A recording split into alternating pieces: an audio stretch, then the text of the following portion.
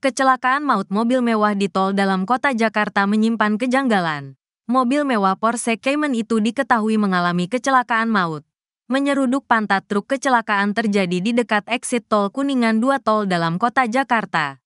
Rabu, tanggal 19 Juni tahun 2024. Pukul 1.40 waktu Indonesia Barat.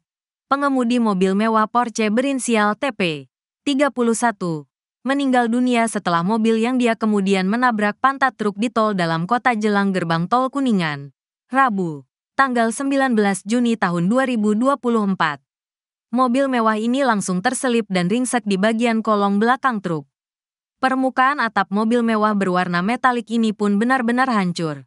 Pengemudinya di dalam terjepit sampai akhirnya dilaporkan meninggal dunia. Mobil sport mewah ini sampai tersangkut dan ikut terseret beberapa ratus meter ketika truk ini sedang melaju.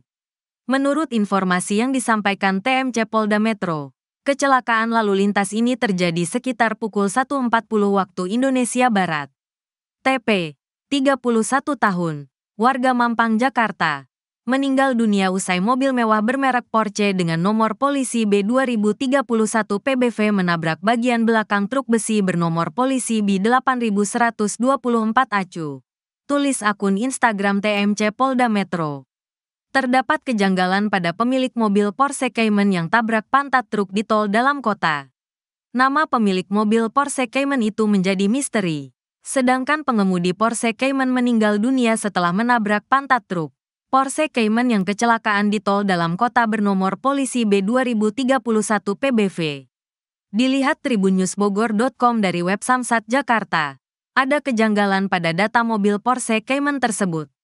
Pada data nama pemilik dan alamatnya disamarkan menggunakan huruf X hanya tertera mereka Porsche Cayman 2.9 et warna abu-abu metalik dengan bahan bakar bensi 2893 cm3. Nilai jual mobil Porsche ini seharga 890 juta rupiah. Sedangkan statusnya tertera nopol sudah dijual. Pemilik mobil Porsche yang tabrak pantat truk di Jakarta. Pengemudinya masih berstatus mahasiswa. Samsat Jakarta. Tahun pembuatan mobil Porsche yang kecelakaan ini adalah 2011. Masa berlaku STNK tanggal 10 April tahun 2028 sedangkan jatuh tempo pajak tanggal 10 April tahun 2024. Namun tak tertulis denda yang diberlakukan.